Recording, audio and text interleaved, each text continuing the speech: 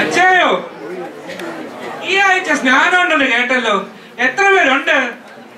ആ, എട്ട് പേരുണ്ടെന്ന് പാസ്റ്റർ പറഞ്ഞിരുന്നു. അതെ ആ എട്ട് അഞ്ചും നമ്മുടെ കുഞ്ഞുങ്ങളാ. ബാക്കി മൂന്നും കണക്കാ. ആണ്ടെ കവിഞ്ഞൊഴുകുന്ന അനുഗ്രഹത്തിലും അത് പോരാണിപ്പോ കണ്ണൂരിലെ ചില ലക്ഷ്യങ്ങളാ. അതെങ്ങനാ?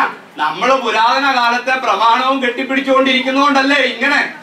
നട്ടതും ഒരു കൊട്ട കിളച്ചതും ഒരു കൊട്ട തന്നെയുമല്ല ആൾ വന്നാലല്ലേ സാമ്പത്തികം ഉണ്ടാകത്തുള്ളൂ. സാമ്പത്തികം ഉണ്ടായാലല്ലേ സഭയുടെ കാര്യങ്ങൾ മുമ്പോട്ട് പോകത്തുള്ളൂ. അതെന്താ ജോണിക്കുട്ടി അങ്ങനെ പറയുന്നത് എല്ലാ കാലത്തും ഉപദേശ വ്യത്യാസങ്ങളൊക്കെ ഉണ്ടായിട്ടുണ്ടല്ലോ.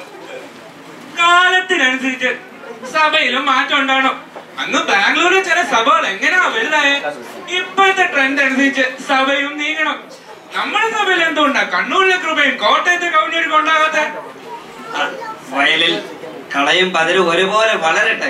കള പറിച്ചു മാറ്റുന്ന ഒരു കാലം ഉണ്ടാവും അന്ന് കളയും അന്ന് പതിരും കതിരും വേർതിരിയും. അത് താമസിയാതെ കാണും.